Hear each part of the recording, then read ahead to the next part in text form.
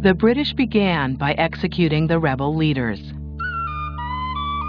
In his final hours, Pearse wrote letters to his mother and brother. Pearse was first to be executed, along with Thomas Clarke and Thomas MacDonagh, May 3, 1916. Pearse's little brother Willie would never receive the letter. Though only a foot soldier in the Rising, he would be punished for his family name. He was executed May 4, 1916. Joseph Plunkett married his fiancée Grace in a jailhouse ceremony the night before his execution, also on May 4th. James Connolly, the military leader, had been gravely wounded in the fighting. He had to be strapped to a chair, barely alive, so he could be shot with the proper pomp and circumstance on May 12, 1916. It was a colossal, colossal mistake on Britain's part. They managed to ruin it on themselves by moving ahead and executing 15 of them, uh, and summarily, one day after another. But if they had dumped them into prison, these men would have been objects of contempt and pity. Instead, they became heroes.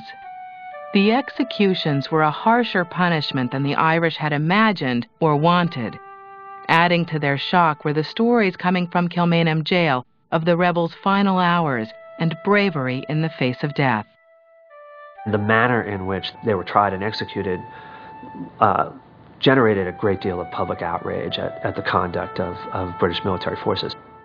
Countess Markievicz kissed her revolver before handing it over to British forces. Spared execution because she was a woman, she is said to have remarked, I do wish your lot had the decency to shoot me.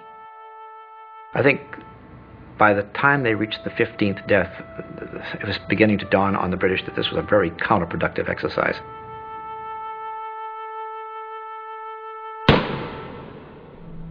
Facing growing public outcry, the British halted the executions.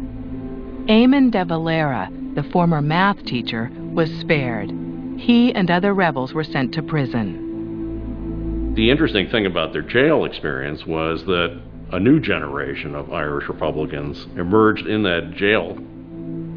And through the study of the Irish language and the playing of Gaelic games, etc., organized uh, the IRB uh, with a new leadership that came right out back into Ireland, ready to go all over again.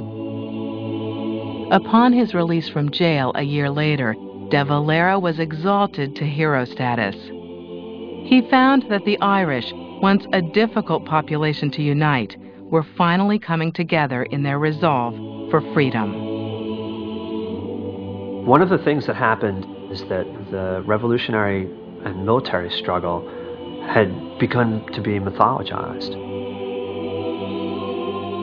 This gets back to the central question about the 1916 Rising is is it an event in military history or is it an event in intellectual cultural uh, history?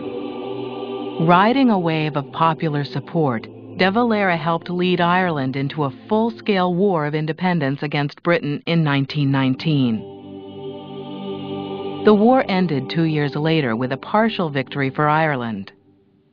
Its southern counties won independence, but six mostly Protestant counties in Northern Ireland remained under British rule and became home to fierce guerrilla violence for the next several decades.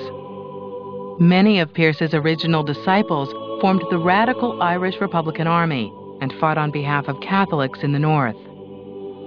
And the sad tragedy of 1916 is that it institutionalized the use of violence and it made the gun a permanent fixture in Irish politics right down to the present day.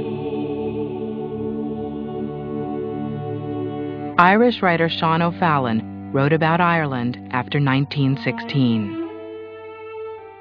The Easter Rising was a complete failure, which left large parts of Dublin in ruins. Yet without it, Ireland might never have been free of English rule. The leaders, alive, had very few supporters even among the Irish patriots. Dead, they became and have remained their country's heroes. It was a great historical paradox, and one that to this day the British have perhaps never understood. Had they understood it, it is conceivable that the British might still have an empire.